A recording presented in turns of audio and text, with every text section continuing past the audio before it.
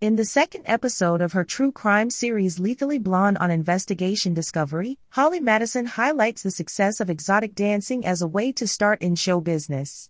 She mentions that it offers a flexible schedule and can be a way to make money based on appearances.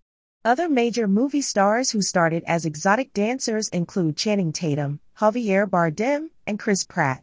Tatum has been open about his experience as a stripper, which inspired the creation of the Magic Mike franchise.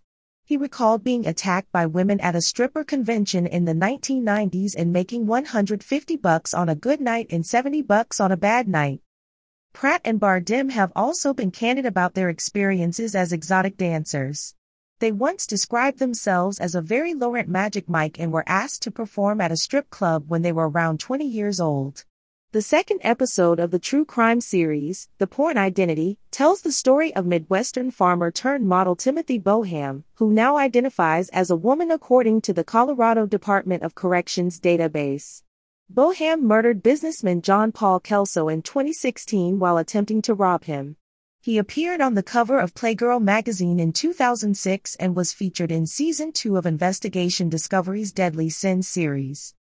Madison discusses the dangers of working in the adult entertainment industry, especially in the early 2000s. She shares her experience with people like Boham who thrived in the world of exotic dancing, but also notes the potential risks when leaving the stage.